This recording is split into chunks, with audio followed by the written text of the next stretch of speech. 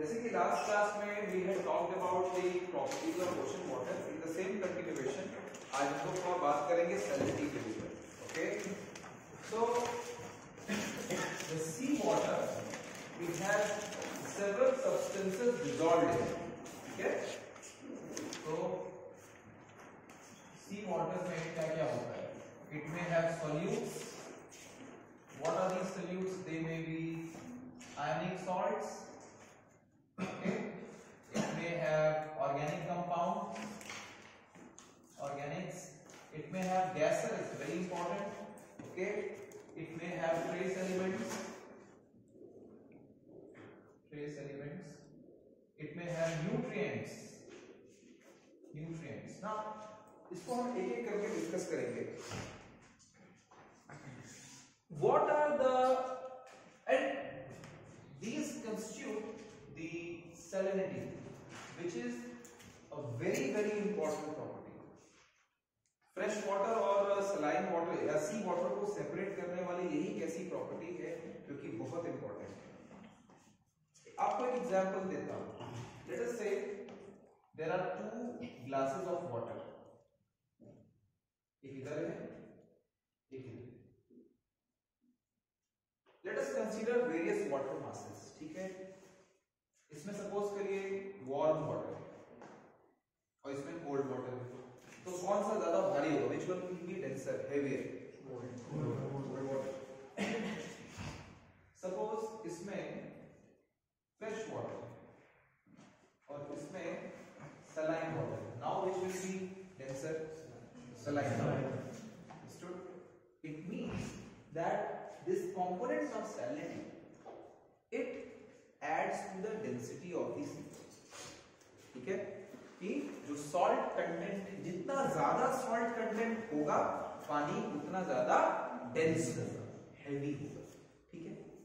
हम लोगों ने बात किया है about the water column in the oceans तो जब हम वाटर कॉलम की बात करते हैं कॉलम का मतलब होता है या वाटर स्ट्रेटिफिकेशन की बात करते हैं। स्ट्रेटिफिकेशन मींस डिफरेंट लेयर्स तो ये लेयर्स के डिस्टिंक्शन में सबसे important cheese the most important characteristic that causes this layers to form is salinity है ना? कि जो वाटर का सैलिनिटी कम होगा वो हल्का होगा वो ऊपर होगा लाइटर वाटर जो वाटर का सैलिनिटी उससे ज़्यादा होगा वो उससे नीचे होगा। और जो सबसे ज़्यादा सलाइन होगा वो सबसे नीचे होगा। इसका मतलब है कि in the ocean water column the salinity the salinity it increases as we go down है कि नहीं? और उस दिन हम लोगों ने बात किया था हेलोक्लाइन का। कि with depth there is a sharp increase in the salinity which in turn makes the water more dense तो पिग्नोक्लाइन और halocline in the ocean water column the temperature reduces temperature भी कम होता है। यहाँ तक समझ में आया? तो इमेजिन करिए suppose that a water mass of high salinity high salinity, let us say ये जो टॉप लेयर है सैलरी S1 है। And S1 is less than S2 is less than S3 S2 S3 if a what some water mass which has a salinity of S2 is drop in the top layer तो will it stay over there और will it go down how many of you think when S2 is more than S1 so if this water mass is poured over here in the top layer will it stay there or will it sink sink Sink. it will sink ना Yes. नीचे जाएगा yes if S3 is poured over here then it will go further deep yes इसका मतलब ये है कि the salinity of the ocean water also makes the surface water to sink vertically down. This property is very important in deep ocean circulation जब हम लोग deep ocean circulation पढ़ेंगे तो इस चीज़ के बारे में बात करेंगे। अभी तो यहाँ तक समझ में आया? इज़ इट ओके ना मान लीजिए if let's say this is the ocean एक टैंक है इसमें we try to make up the you know stratification know stratification three types of water masses. this is let us assume that this is the fresh water. Then this is saline water. This is the most saline water. This is how it will be. ऐसी certification होगा unless and until you try to mix these two water masses या आप पूरा मिला दो they will be floating over each other. Yes or no? Imagine that let us say heavy rainfall occurs. बहुत ज्यादा बारिश हो and the entire rainwater which is relatively fresher it drops on the ocean floor uh, uh, ocean surface ocean surface so what will happen will that water sink will that water float Float. Float. that water will float unless and until the mixing makes the salinity of both the water masses similar few years back आप लोगों ने सुना हाजी अली के बारे में सुना था कि suddenly the water of Ali it was you know it became sweet sweet मतलब it was not saline people started drinking that water और उसमें क्या हुआ after some time they started falling ill because sea, sea is not pure water no गंदगी बहुत है उसमें you drink that water you are definitely going to get diarrhea so people thought कि some miracle has happened और ये पानी खारा नहीं है but what they did not realize is that heavy rainfall had taken place और वो जितना पानी गिरा so it will take some time for the water to mix and become equally saline to go down okay so salinity of the oceans owes a number of factors and then it uh, controls several things in the oceanography ठीक है? अच्छा अब ये मान लीजिए जैसे कि if the winds they strong winds they blow and they remove this top water column तो क्या होगा? The lower water the water from the lower layer पर starter it will come up हुआ नहीं होगा this process is called as upwelling upwelling. Interestingly when upwelling happens? जैसे मान लो कि यहाँ पर सरफेस लेयर है then we have the lower layer which is more thermocline या मिक्स्ड लेयर थर्मोक्लाइन ठीक है? सो थर्मोक्लाइन लेयर का सैलिनिटी मिक्स्ड लेयर से ज़्यादा होगा कि नहीं होगा? होगा ना? अभी ज़ोर से मैंने इसमें एक एक बाल्टी में पानी लेके ज़ोर से फूंक मारो तो water moves away when this will move away what will happen ये जो मान लो यहाँ पर जगह खाली होगी क्योंकि this water has moved to fill in the space this water will come up this process is called as upwelling See? so we can see that there are several things which are associated with salinity but how is this salinity caused salinity क्यों आया? कैसे आया?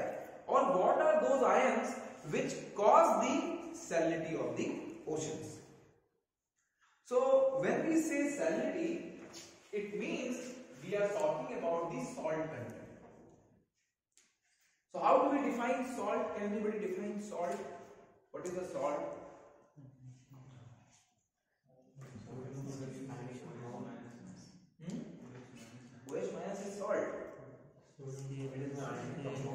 Ionic compound, okay?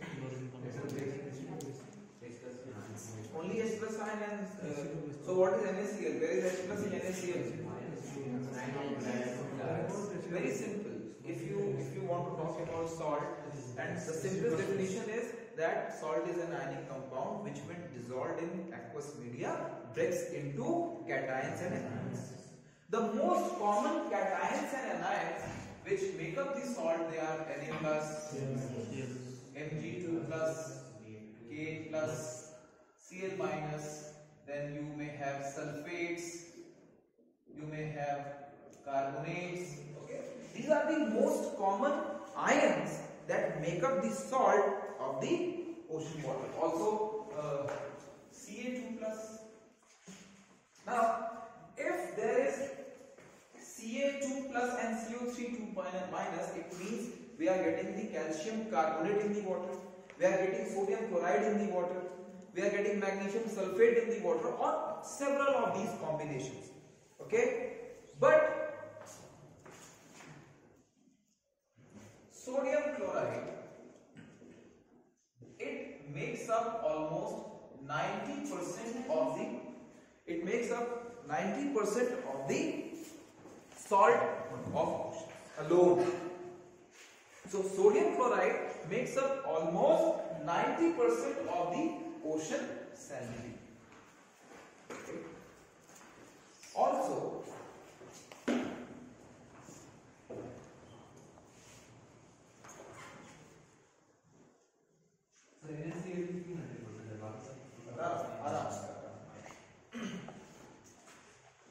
when we talk about Cl minus or chloride ऐसा तो नहीं है कि only chloride is the chlorine is the only halogen that is there इसमें bromide भी हो सकता है iodide भी हो सकता है chloride भी हो सकता है but the amount of chloride that is there in the water is quite high as compared to these three alone so when we talk about the halide content halogen content जब हम बात करते हैं halogen content की तो हम अकेले chlorine या ब्रोमीन या आयोडीन नहीं बोल सकते। Since halogens are the most electronegative है कि नहीं? They can easily accept an electron they are the ones which can easily make salts with metals है ना? समझ में आ रही मेरी बात? कि जैसे मेटल है sodium sodium has one electron in its outermost shell it can easily donate most electropositive similarly halogens most electronegative फटाक से ले सकते हैं। They can easily accept an electron so they can make up they can you make an ionic compound with the metals and they can easily make the salt अब जब भी हम salinity की बात करते हैं हैलाइड्स के केस में it's not chlorine alone it's the entire halides but since they have very less amount as compared to chloride therefore we say chlorinity chlorinity and how is chlorinity defined? You know or rather how is salinity defined? Salinity is defined as the total solute in grams.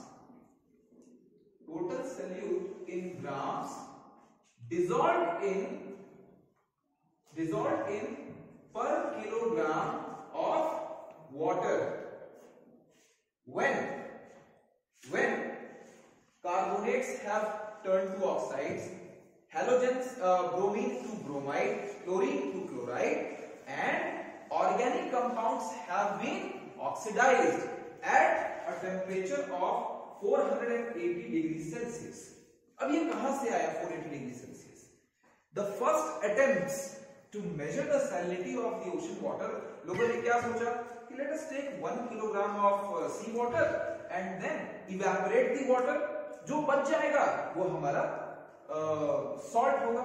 Suppose करिए कि we take one kilogram of sea water या one litre of sea water one litre one kilogram बताओ what is the meaning of one I say one kilogram of sea water और one litre of sea water are they same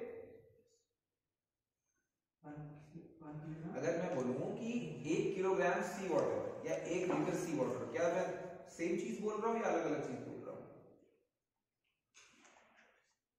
What is the mass of one litre water एक litre water का वज़न कितना होगा? One kilogram सोचने ऐसा क्या है? So it was thought that when we start evaporating the sea water तो जो उस क्योंकि सी वाटर में सॉल्ट कंटेंट है तो जब पानी उसका निकल जाएगा when water will get evaporated the precipitate that will be left behind will be the total salt content तो ऐसे करके first attempts were done but the later it was known that the precipitate inside that mass that water mass इतना simple भी नहीं है कि आप सीधे सीधे ऐसे मेजर कर लिए। इन अ लेमैन्स टर्म अगर हम इसको सोचें तो ये ऐसे होगा that if we take 1 kilogram of sea water and evaporate it, you would get an average 35 grams of salt. इसीलिए कहते हैं that average salinity of oceans, average salinity of it is 35 parts per bill or 35 parts per thousand लेकिन the solutes that were dissolved they got they were to be stabilized ऐसा नहीं है कि volatiles हैं तो तक वोलेटाइल रहेगा, आपको सॉल्ट कंटेंट बिकॉज़ सॉल्ट क्या है? सॉलिड मास तो stabilisation temperature of those solute was determined to be four eighty degree Celsius तो उसमें ये सैलिनिटी का डेफिनेशन दिया गया था total amount of solute in grams dissolve per kilogram of sea water when the when the carbonates have been oxidise carbonates have turn to oxides bromine to bromide, iodine to iodide, chlorine to chloride, and organics have been oxidized at a stabilizing temperature of 480 degree Celsius. Pinnett में ये definition बहुत अच्छे से दिया हुआ है. But later it was defined that there is something called as law of constant proportions. Law of constant proportion states that the in different water masses अलग अलग जगहों पर जो ये आयन है विच कॉन्स्ट्यूट दिस इनका जो अमाउंट है वो ज़्यादा या कम हो सकता है the amount of individual ions में वेरी लेकिन जो उनका एवरेज प्रपोर्शन होगा वो पूरे ओशन में same for example if we are talking about the concentration of sodium in let's say Indian Ocean and concentration of sodium in Pacific Ocean. It may be it may differ. The amount of chloride in both the oceans may differ, but the average content of sodium chloride would remain same. It is called as law of constant proportions. Individual अलग अलग हो सकता है लेकिन जब उसका अगर कहीं पर लेटर से सोडियम क्लोराइड जो है उसके एवरेज एक्स है x है this x is constituted by x1 and y1 ठीक let us say in indian ocean and in pacific ocean this is x2 y2 in pacific ocean x1 and x2 are two different entities ये अलग अलग है y1 y2 अलग अलग है ठीक है हो सकता है x1 x2 से ज़्यादा या कम हो लेकिन अगर ये वैरी करेगा तो उसी रेशियो में y1 और y2 भी वैरी करेंगे The proportion cannot change. So, it was seen that the halides are the most common anions that make up the salt. So, salinity was defined as 1.80655 multiplied by chlorinity. Total amount of halides present in the seawater and it is measured in parts per mil or parts per thousand. Okay?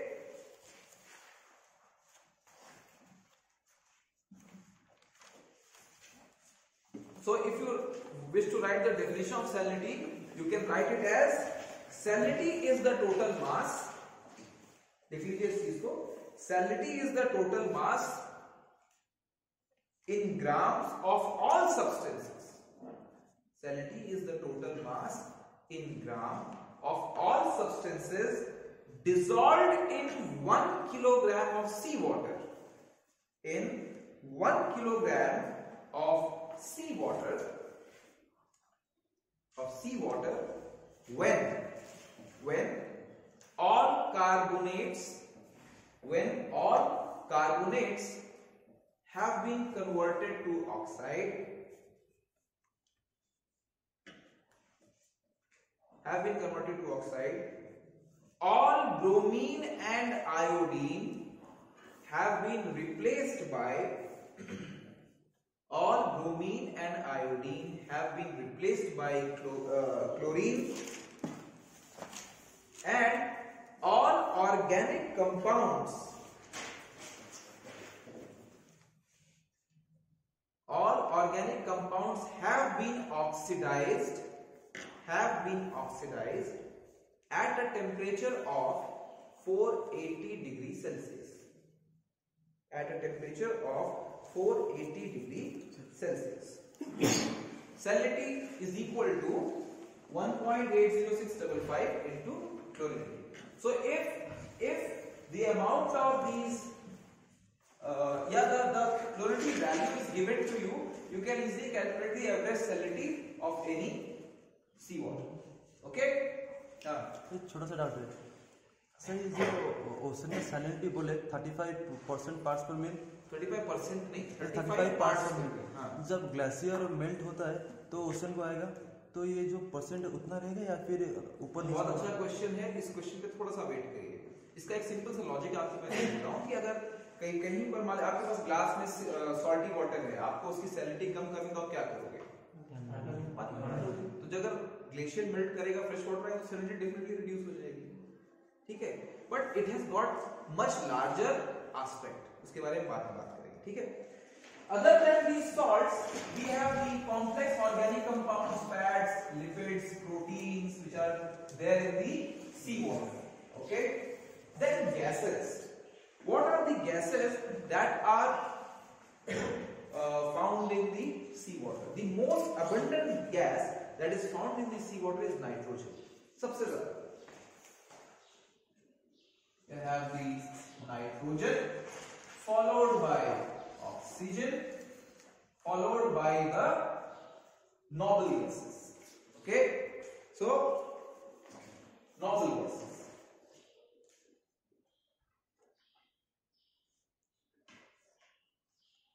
क्या बाकी जो carbon dioxide sulphur ये सब है traces में है these are the major gases so if you go this arrow indicates increasing abundance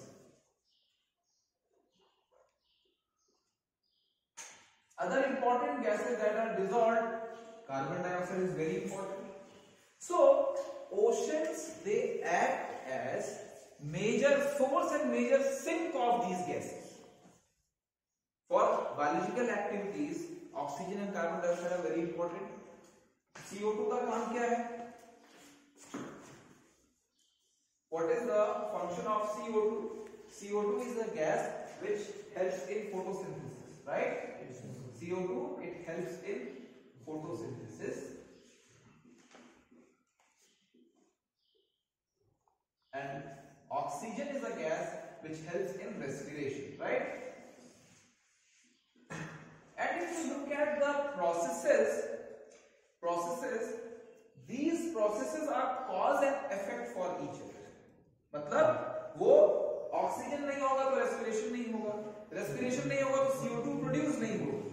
CO2 produce नहीं हुई तो फोटोसिंथेसिस नहीं होगा। फोटोसिंथेसिस नहीं हुई तो ऑक्सीजन ठीक?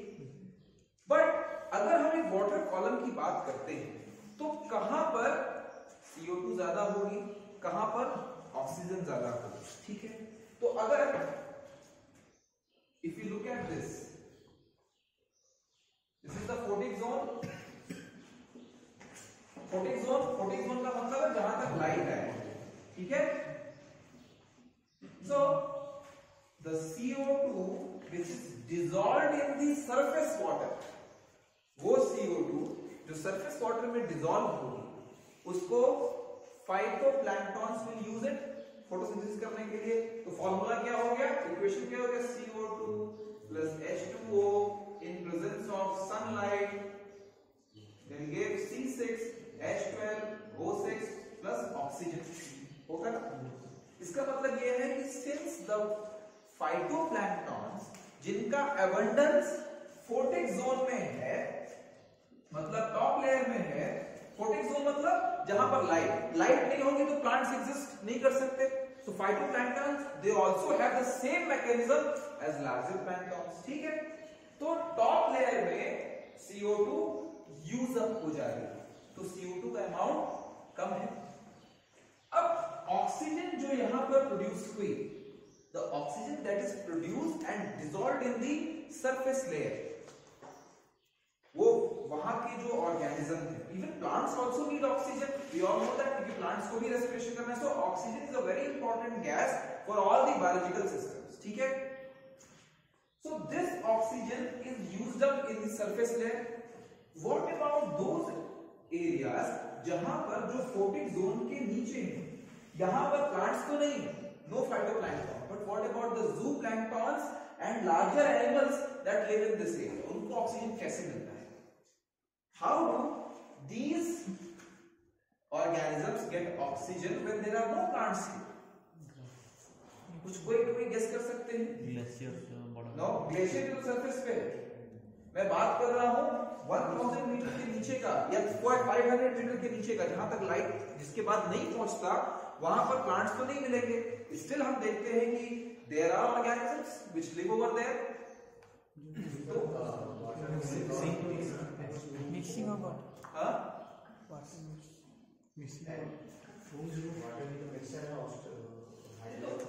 ऑक्सीजन तो यहाँ प्रोड्यूस हो रही है। तो यहाँ पे ऑक्सीजन कैसे पहुँची हाँ तो वो पानी ऊपर के लेयर में है वाटर स्ट्रेटिफाइड है ऊपर का पानी का सैलिनिटी जो है वो क्या है? ऊपर के पानी का सैलिनिटी कम है तो वो नीचे नहीं जा सकता। तो फिर? जो आप बात कर रहे हैं मिक्सिंग की, यही पर सेलिटी की इंपॉर्टेंस है। कि कहीं ना कहीं पर सरफेस वाटर सिंक कर रहा है। वो नीचे जा रहा है it is going down and then याद करिए, मैंने पहले दिन आपसे कहा था कि oceans join the region they divide means oceans are all connected not only at the surface level but also at the deeper level that if somehow or the क्यों होता है, मैं अभी नहीं बताऊँगा but let us say somehow or the other the salinity of this water becomes high तो ये नीचे जाएगा? जब ये नीचे जाएगा तो अपने ऑक्सीजन को लेकर के जाएगा कि नहीं जाएगा? जाएगा this is how this deep ocean circulation is very important and it is because of this deep ocean circulation that vertical mixing takes place and the oxygen which is produced in the surface layer reaches the deepest layer and then since the oceans are connected this water जहाँ जहाँ जाएगा अपनी properties लेकर के जाएगा समझ में आई तो gases how they very but yes of course अगर हम एक ओशन वाटर कॉलम की बात करें at one location then as we go down the oxygen content reduces while CO2 content it increases होगा कि नहीं होगा because when we go down there is no photosynthesis only respiration decomposition these are two main processes respiration and decomposition respiration and decomposition these are two main processes which cause the production of carbon dioxide ठीक है so as we go deeper two content is high ठीक है? ये समझ में आ रहा है इसे okay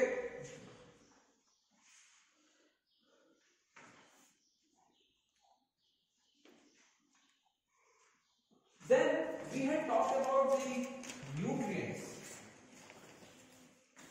are nutrients for us we we get these nutrients from the food that we eat लेकिन when we are talking about the microorganism so उनके लिए there are only three main nutrient what are they they are nitrogen phosphorus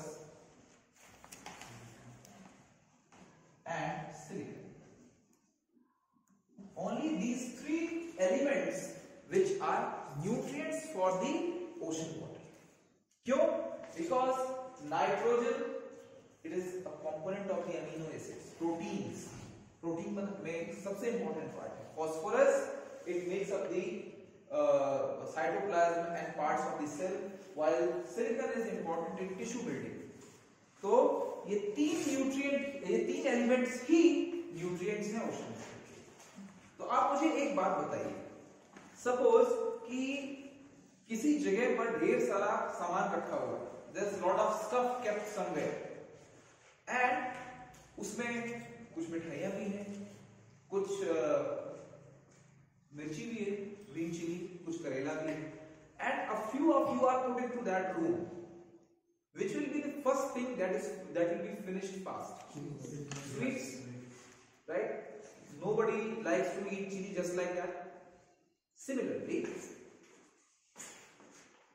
in the ocean water wherever these three elements are in they are used up very quickly once they are used up very quickly the amount of time which they will spend in the ocean water will be very very less क्योंकि इनका immediately use हो जाएगा तो ये water में बहुत कम समय के लिए रहेगी इसीलिए इन्हें कहा जाता है they have least residence time least residence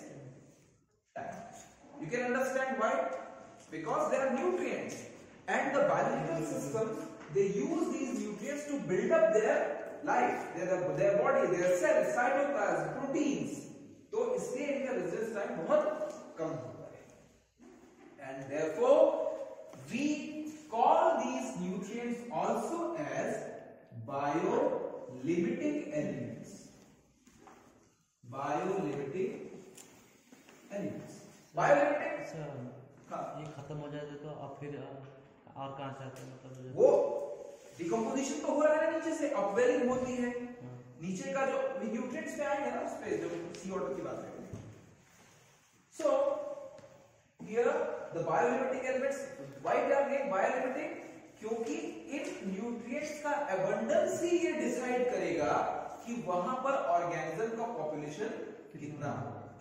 The abundance of these nutrients only will decide how much will be the living biota at a place. If these nutrients, जैसे इसीलिए मैं कह रहा हूँ कि जब भी अपवेलिंग होगी अच्छा एक चीज़ जैसे इनका सवाल है खत्म हो गया तो कहाँ से आएगा good question if we look at these three layers in the top layer जहाँ पर lot of phytoplanktons are there lot of uh, microorganisms are there वो यूज़ कर लिए उनका लाइफ खत्म हुआ। They will die they will start to get decompose decomposition होगा ना? तो डीकम्पोजिशन में क्या होता है? The complex organic compound they get broken into simple forms तो ये जो थीम है वो नीचे के वॉटर में जो है डीकम्पोजिशन ज़्यादा हो रहा है वहाँ पर हो गया। और फिर विंड्स चली they remove this water upwelling हुआ। This is one of the process one of the processes by which the nutrients are replenished inside the water ठीक है? जब अपवेलिंग होगा तो किसी एक लोकेशन पे ये न्यूट्रिएंट अमाउंट बढ़ गया। अब आप मुझे बताओ suppose I have this sediment record with me ठीक है? ये सेडिमेंट में I suddenly see that there is an upsurge of microfossils बहुत ज़्यादा है। इनमें वो माइक्रोफॉसिल्स भी हैं जो कि हाई न्यूट्रिएंट कंडीशन में ग्रो करते हैं so how do I interpret that कि suppose I have this uh, sample which is one and a half million years old, 1.5 million. As मुझे मालूम है और मैंने देखा कि इसमें uh, presence of the biota is very high. अलग अलग टाइप के ऑर्गेनिज्म बहुत ज़्यादा है डाइटम्स बहुत ज़्यादा है रेडियोलेरिया बहुत ज़्यादा है then Globigerina bulloides is being shown तो हम क्या बता सकते हैं कि अगर देयर इज़ एन अपसर्ज और there is an increase in the population of such forms इसका ये मतलब है कि न्यूट्रिएंट सडनली बहुत ज़्यादा आया। बता सकते हैं कि नहीं? एक एग्जांपल देखिए। बहुत सिंपल सा एग्जांपल है। This is the Arabian sea है ना? अरेबियन सी में समर्स के दौरान when the summer monsoon is there we have the south west monsoon winds चलते हैं they blow from south east to north east uh, south west to north east these winds what do they do they drag the surface water of arabian sea यानी they remove the surface water of arabian sea अब क्या होगा जो नीचे का thermocline का water है ऊपर आ गया थर्मोक्लाइन के वाटर में ये न्यूट्रिएंट्स ज़्यादा हैं तो क्या होगा? सरफेस वाटर में न्यूट्रिएंट कंटेंट बढ़ जाएगा water will become more fertile so what it will do it will lead to increase in the number of microorganisms वो उस समय का फॉसिल रिकॉर्ड आप देखोगे तो उस सैंपल में you may get several such forms so इसको हम क्या बोलेंगे? कि this is high productivity time मतलब वाटर में न्यूट्रिएंट कंटेंट ज़्यादा है। आइए बात समझ में? सर सरफेस वर्ड सरफेस से सॉरी एटमॉस्फेयर से सर्कुलेशन एटमॉस्फेरिक सर्कुलेशन में क्या है? एटमॉस्फेयर का मतलब winds right winds can impact only the surface water. मतलब एक जगह का वाटर फ्लो करके दूसरी जगह जा रहा है but not the deep water because winds do not have the energy to penetrate after some depth तो ये जो सरफेस ओशन करंट्स हैं दे विल आल्सो जैसे मान लो कि यहाँ पर न्यूट्रिएंट ज़्यादा हो गया ठीक है? And due to the winds this water it moves this way high nutrient water will come over here also तो यहाँ की प्रोडक्टिविटी भी बढ़ाएगा ठीक है? So upwelling zones and advection यानी यहाँ पर मान लीजिए अपवेलिंग हुई तो ये पानी जहाँ जहाँ भी बह बह के जाएगा वहाँ वहाँ पर प्रोडक्टिविटी विल बी अभी जब हम देखेंगे सरफेस सर्कुलेशन तो will understand this understood so if a question is asked what will be the residence time of biolimiting elements it will always be the least residence time because they're immediately used up उसी तरीके से sodium Na one sodium molecule will remain in the ocean water for almost 2 million years because it is not being used up in biological system तो water में चला गया sodium chloride आपका सवाल था ना कि सबसे ज़्यादा यही क्यों करता है? क्योंकि उसका रेजिडेंस टाइम ज़्यादा है। क्योंकि it is not being used up in biological activities जब वो यूज़ नहीं होगा तो डेफिनेटली अब उस कमरे में मिठाई भी थी, करेला भी था, मिर्ची भी थी। मिर्ची और करेला लंबे समय तक रह जाएगा। लेकिन मिठाई तो खत्म हो जाएगी। Okay so the elements or the ions which have highest residence time will contribute more to the salinity of the बात समझ में आ गई? कोई डाउट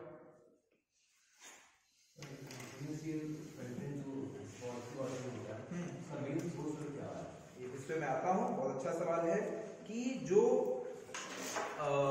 सॉल्ट कंटेंट है वो कहाँ से आ रहा है? तो देखिए there are several of these salt sources of salt सबसे कॉमन है rivers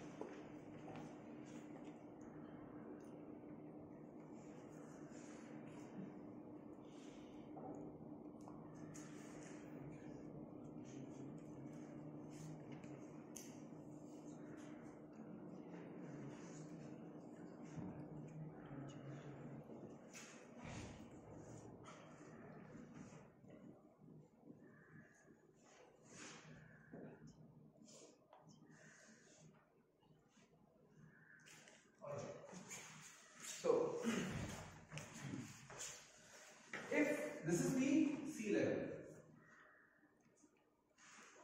sea level, these are this is the continental portion,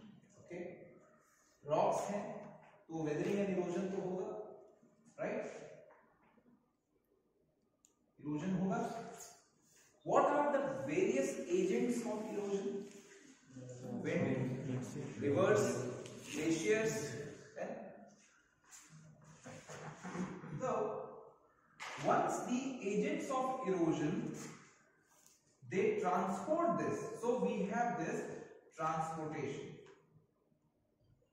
जब transportation होगा, so let us say if this is the beach, this is the sea level, so we have the shelf, slope, abyssal plain. Rivers they drain into the sea or the oceans. So what they will do? They will bring their sediment load and they will drop it inside the ocean. So that is known as transportation. Once they are transported, what will happen? They will be deposited. Deposition. So what will happen? It will lead to the deposition of sedimentary beds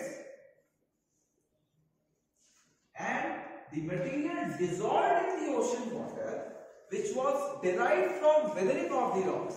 We know that that uh, when the water it attacks the litho units or rocks, it weathers it corrode करता है. Chemical weathering होता है तो जो minerals हैं they get dissolved in the water and once this water is dropped into it, क्या होगा? That will be the that will become a part of the sea water now. It will add to the salinity. So the major source are rivers. Then the lithospheric plates देखो ये subduction हुआ melting होता है and then we have intrusion इससे भी salt आता है ocean water में. अपलिफ्टमेंट हुआ अपलिफ्टमेंट कॉम्प्रेशन हुआ what will happen rocks it will lead to the breakage of rocks they will be broken on the smaller content पूरा का पूरा load it comes into to the desert से wind चले आ रहे हैं। विंड है सस्पेंडेड लोड ये विंड्स ने क्या किया? They drop it also become so part okay so we can have volcanoes as the source of salinity we can have the terrestrial material coming in as the source of salt rivers are the main carrier of such source such content wind subduction zones also they may add to the salt game is it okay so because this salt is basically derived from the mineralogical content of the समझ में आई upliftment होगा compression होगा तो rocks टूटेंगे कि नहीं टूटेंगे जब भी weathering होगा so basically it all starts from weathering rocks की वेदरिंग नहीं होगी तो सैलिनिटी कैसे वेदरिंग होने के बाद ही तो उसका material will be carried down और will be eroded will be transported ठीक है? ये सॉल्ट्स ये सॉल्ट्स क्यों इंपॉर्टेंट है? Because apart from giving the characteristic property to the water, these salts are also used up by the organism. अब जैसे उसे हम लोगों ने फोरामेलिफेरा का प्रैक्टिकल किया फोरामेलिफेरा कैल्शियम कार्बोनेट का टेस्ट बनाता है। वो कहाँ से डिराइव होता है? ये देखिए। उसी तरीके से सिलिका जो बायोजेनिक ओपल है रेडियोलेरिया डायटम्स कहाँ से बनाते हैं? फॉस्फेट्स कहाँ से आते हैं? सॉल्ट कंटेंट से। ओके बात समझ में आ रही है? हाँ? मतलब सोडियम पोटेशियम मैग्नीशियम वो तो आ जाएगा लेकिन अनायन सब क्वेश्चन समझ में आया वैसे मतलब अनायन कहाँ से है? मतलब एनायन कहाँ से आया? वहीं से आया जहाँ से ये सारा मटेरियल है रॉक्स की वेदरिंग से। आप लोगों ने इग्नियस पेट्रोलॉजी पढ़ी है सेडिमेंट्री पेट्रोलॉजी पढ़ी है। आपको मालूम है कि जो मिनरल्स होते हैं what they are they are basically these compounds only जब वो टूटेंगे तो when they will break down तो छोटे छोटे फॉर्म्स में कैटायंस एनायंस में तो आएँगे ना। They should be dissolved in the water sir, अगर टैंकी में हम सेम करेंगे। तो डीजल होने के बाद वो भी सल्टी हो जाए। समझा नहीं मैं। सर एक टैंकी में अगर हम रॉक को पाउडर करके छोड़ देंगे हाँ। और डीजल हो जाएगा हाँ। तो उसके बाद वो सॉल्ट तो बहुत दिन को। you will you will have to leave it maybe two lifetimes three lifetimes agitation होना ज़रूरी है ना। जैसे रिवर्स जब जब when they flow they are agitated आप उसमें डाल करके छोड़ दिए नीचे सेटल हो जाएगा। धीरे धीरे धीरे धीरे। तो अब जैसे एक छोटा सा एग्जांपल देखिए टर्बिडिटी जो फॉर्म होती है आप बाल्टी में पानी भर के तीन चार दिन छोड़ दीजिए तो बाल्टी की जो सरफेस है वो चिकनी हो जाती है। सर ठीक ना? ओशन का सैलिनिटी तो बढ़ता जाता है। बढ़ता जाता नहीं है। अभी तुम लोगों ने देखा ना constant proportions law of constant proportions आप लोग को ये देखने में बहुत सिंपल सा लग रहा होगा कि ऑर्गेनिज्म ने बना लिया imagine what is the population of these organisms it was a prediction that in 500 years the calcareous shells which will be deposited in the ocean will be almost equal to the weight of the earth itself ऐसा बहुत सारे लोगों ने predictions और uh, statements दिए हैं। क्या आप लोगों ने, आपको आपको मैंने एक अपना सैंपल का ट्यूब दिखाया था ना। Did you see what was the content in that billions of microfossils तो वो सिर्फ़ एक एक ट्यूब में ओशन में कितने हैं? So the salt content the salt content is always being modified but it's relative proportion will not change that is called as the law of constant proportions ये ज़रूर हो सकता है कि मेडिटेरेनियन का सैलिनिटी अटलांटिक से ज़्यादा है। अटलांटिक का सैलिनिटी पैसिफिक से ज़्यादा है पैसिफिक का सैलिनिटी इंडियन ओशन से ज़्यादा है रेड सी का सैलिनिटी अरेबियन सी से ज़्यादा है कैस्पियन सी का सैलिनिटी बहुत ज़्यादा है। सर अरेबियन सी का ज़्यादा है sir.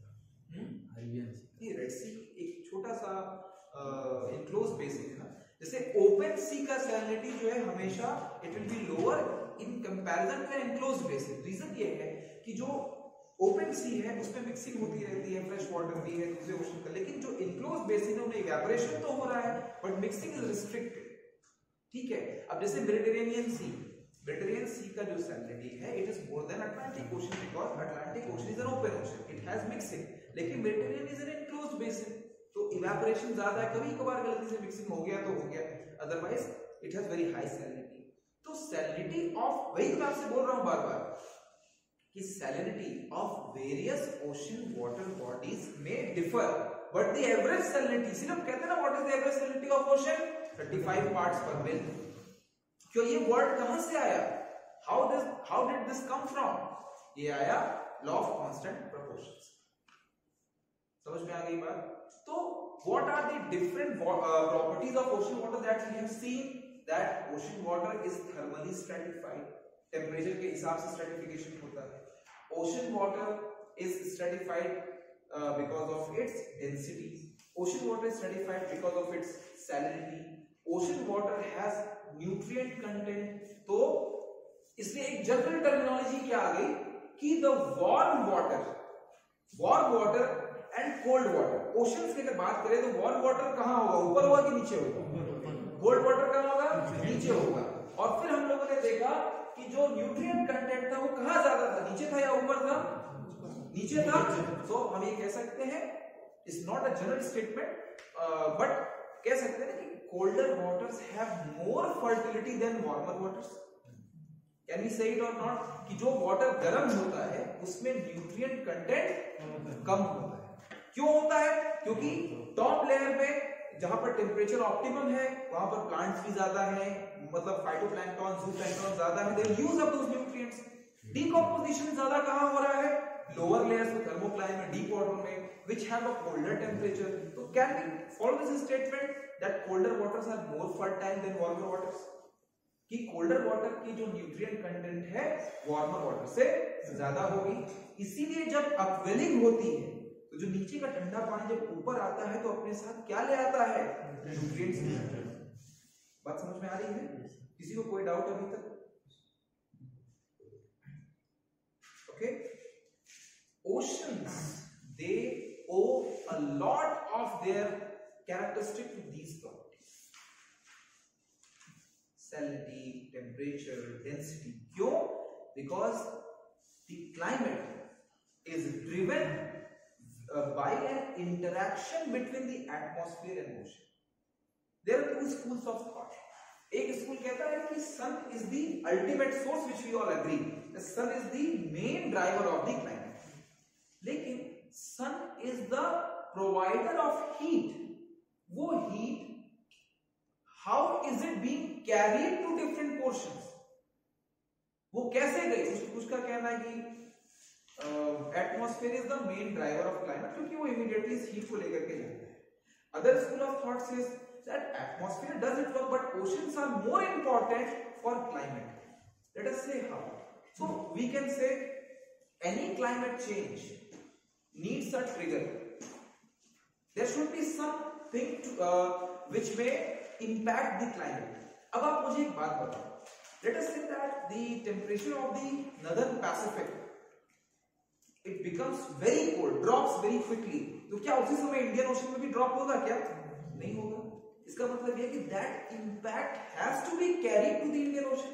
Therefore, there is always a lag time कि वहाँ पर अगर इस समय हुआ तो after some time only those effects will be seen in the Indian ocean part तो लोगों का कहना है कि but the winds they carry very fast क्योंकि space is empty but there are two things first of all a trigger trigger to initiate a climate change. Then, teleconnection. Intention means that if something is happening here that impact should be carried here तभी तो climate is a global term a broad terminology ठीक है? यही और तीसरी चीज़ है flywheel effect flywheel का मतलब है कि वहाँ पर जो भी कुछ हुआ, वो यहाँ तक आते आते अगर खत्म हो गया if the effect of that change which is happening at a location A gets completely finished before it reaches to location B. तो location B को उसका impact दिखेगा कि नहीं दिखेगा? नहीं दिखेगा। कि अगर मान लीजिए कि हमने यहाँ पर एक सेंट की बॉटल खोली और आपको वहाँ पर स्मेल आया क्यों हुआ? क्योंकि डिफ्यूजन हुआ। बट इमेजिन दैट वो डिफ्यूजन नहीं हुआ वो यहीं तक आते तक खत्म हो गया। तो वहाँ पर उसका स्मेल तो नहीं आएगा समझ में आ रही बात? तो अब यहीं पर डिबेट है। Climate change needs a trigger then a teleconnection is important. So, atmosphere is well connected. Oceans are also well connected. Impact kahan par aata hai flywheel flywheel है? It's a potter's wheel potter wheel समझते हैं? कुम्हार का जो circle उसको घुमाता है एक बार जो acts on the law of inertia जब तक आपने उस पर फोर्स नहीं लगाया, वो चलता रहेगा इसलिए बर्तन बनाते हैं, उसमें we can make utensils on it तो ओशंस की जो स्लगिशनेस है एंड हाई स्पेसिफिक हीट अगर पानी को आपने गर्म कर दिया तो लंबे समय तक गर्म रहेगा। पानी को आपने ठंडा कर दिया तो लंबे समय तक ठंडा रहेगा, ठीक? So this ocean which carries these properties to different places at a very slow speed and also its high specific heat capacity make the ocean main controls of but but जब तक ओशन और atmosphere के बीच में interaction नहीं होगा climate changes नहीं होगा। बात समझ में आ रही है? इसीलिए after studying all these properties of sea water what is, what next is important is the atmospheric circulation. अभी तक इस चैप्टर में कोई प्रॉब्लम तो नहीं है? Can we move ahead to atmospheric circulation okay